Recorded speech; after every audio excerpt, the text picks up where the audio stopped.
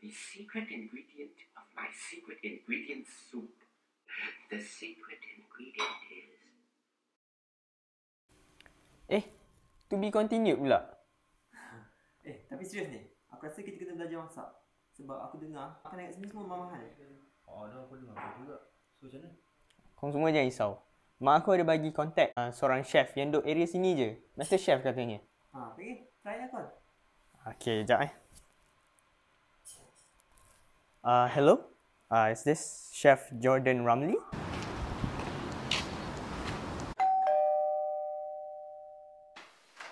Hi, good day. Assalamualaikum. Waalaikumsalam.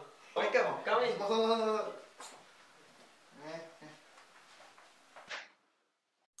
Saya Chef Jordan Ramli.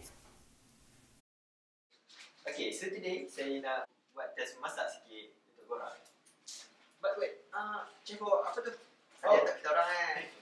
Ini sebenarnya adalah um, survival kit saya sebagai chef. So, ah, benda dalam ni saya bawa ada pepper, garam dan juga ni, sejadah dan kompas. Wah, padulah chef. So, secret ingredient untuk hari ni adalah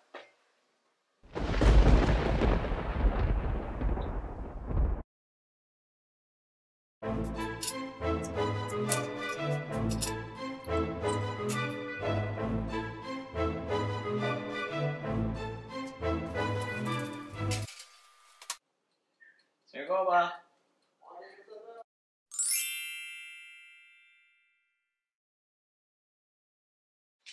Bismillahirrahmanirrahim. So,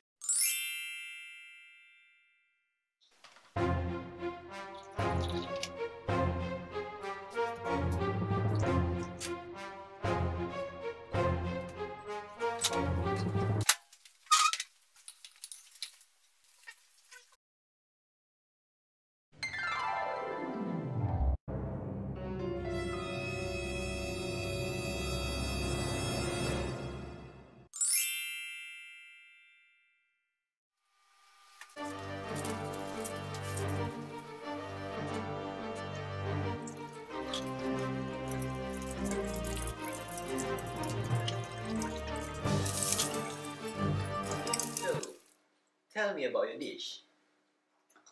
So, ni saya ada buat special punya egg, fresh daripada oven. Okay, next. Um, tell me about your dish. So, ni saya buat special punya toast with microwave poached egg. Interesting. Next. Assalamualaikum. Ah, ni saya buat simple je.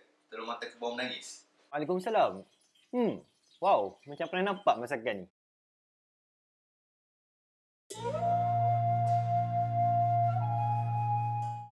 Okay, nanti saya bagi tahu result malam ni.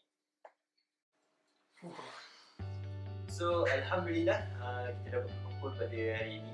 Jadi, dengan suka citanya, saya ingin memberitahu pemenangnya adalah saya sendiri.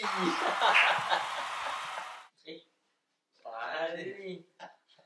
Kenapa saya cakap saya menang? Sebab saya dapat berjumpa dengan sahabat-sahabat yang positif walaupun dalam bencana COVID-19 Alhamdulillah. Eh, tapi saya curious lah chef. Kenapa chef pilih telur eh? Ha, sebenarnya ada sebab kenapa secret ingredient dia adalah telur. Dia nak bagi satu analogi. Kamu semua cuba teka yang mana bahagian telur yang paling penting. Bahagian kuning ke bahagian putih? Putih. Kuning. Kulit telur. Okey, tak salah semua jawapan tu. Tapi bagi saya sendiri yang lagi penting adalah telur kuning. Sebab dalam telur kuning tu adanya DNA, RNA dan macam-macam lagi kat situ. Saya anggap telur kuning adalah matlamat hidup kita. Dan yang kulit telur, telur putih pula sebagai alat. Kalau kita terlalu fokus kepada telur putih dan kulit, maka ayam tidak akan jadi ayam. Habis saya jadi apa? Dengarlah dulu. So pentinglah bahawa kita kena fokus dekat matlamat hidup kita dengan segala alat untuk lindungi dan untuk mencapai matlamat itu. Alat ni boleh jadi macam-macam. Study, family dan macam-macam lagi.